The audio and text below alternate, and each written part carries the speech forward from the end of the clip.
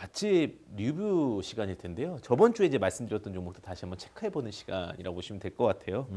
저번 주에 이제 콘덴서 관련된 종목 가져오셨었죠? 네, 그렇죠. 종목명에 콘덴서가 있기 때문에 네. 어, 떤 회선지가 그대로 드러나는 네, 사막 콘덴서 가지고 왔는데요. 일단 이번 주는 뭐 뚜렷한 흐름은 없었습니다. 네. 뭐 특별하게 이제 올라가지 않았는데 제가 이제 과거에 그 말씀을 드렸던 종목들을 다 취합해 보시면 네. 네, 전체적으로 성과는 다 괜찮았어요. 그래서 제 종목은 바로 움직이지 않더라도 시간이 좀 필요할 수는 있지만 어, 시간을 충분히 두고 매매를 하시면 어, 올라갈 수 있을 것이다라고 보고요. 그러니까 제가 이전에 말씀드렸던 뭐 구글재즈라든지 뭐 IG비전이라든지 그리고 제가 중장기로 말씀드렸던 뭐 KTNG도 말씀을 어, 드렸는데 아이젠 비전 엄청 잘 갔죠? 그렇죠. IG비전도 잘 갔고 이제 KTNG도 지금부터 좀 시동을 걸고 살짝 올라가려는 그런 모습들을 보여주고 있어요. 그래서 어, 시간을 또 충분히 두고 보시면 아, 사막 콘덴서 좋은 시세 줄 것이다라고 판단하고요.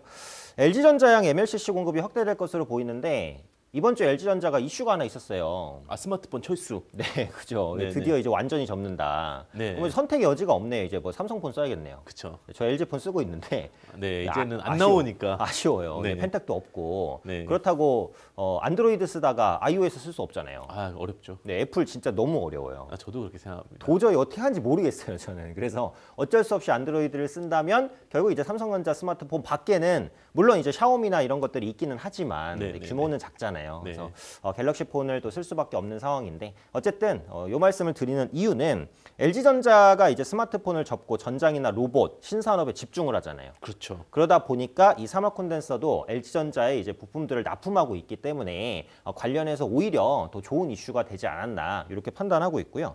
어, 사무인터넷이라든지 친환경차양 MLCC가 계속해서 증가할 것으로 어, 보입니다. 이건 역시도 LG그룹과 뭐 결부된 얘기예요. LG가 어, 전장 사업, 로봇 사업 이렇게 이제 확대를 하면 그에 들어가는 그 MLCC도 늘어날 수밖에 는 없어요. 그래서 그런 수혜들을 어, 지금 말씀드렸, 그러니까 지난주에 말씀드렸던 어, 사막 콘덴서가 좀 받아나갈 수 있다라고 생각하니까 어, 이런 부분들에 좀 포커스를 두시면 될 것 같고요.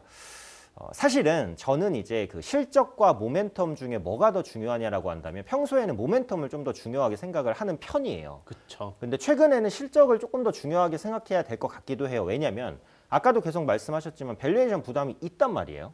그러다 보니까 종목을 선택할 때 아 이게 약간 좀 버블이 낀 조- 종목이냐 그렇지 않냐 이런 부분들을 판단할 수 있는 가장 직접적인 기준이 실적일 수밖에 는 없잖아요. 맞습니다. 네, 그러다 보니까 최근에는 모멘텀도 물론 중요하지만 실적을 제가 또 반드시 체크를 해요. 특히 1분기 실적 시즌이 삼성전자를 시작으로 포문을 열었으니까. 네. 그래서 실적 발표 일정들 보유하고 계신 종목들의 어, 실적 발표 일정을 꼭 체크를 하시고 실적 컨센서스가 어떻게 변화되는지 또 이런 부분들을 확인하시는 것이 지금 시점에서는 어, 가장 최선의 대응이다. 네, 이렇게 생각이 됩니다.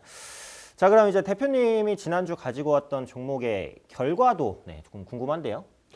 넷게임즈라는 종목 가지고 왔었습니다. 네, 넷게임즈. 네, 넥슨코리아가 최대 주주로 있는데 네네. 게임주 중에서 좀 저평가돼 있는 종목 중에 하나가 아니었나라는 생각이 들어요. 요즘에 게임주가 좀 네. 많이 뜨거운 종목들이 많잖아요. 그쵸. 메타버스랑 뭐 메타버스라든지 뭐 블록체인도 있고 뭐. 다양한 이슈가 있는데 음.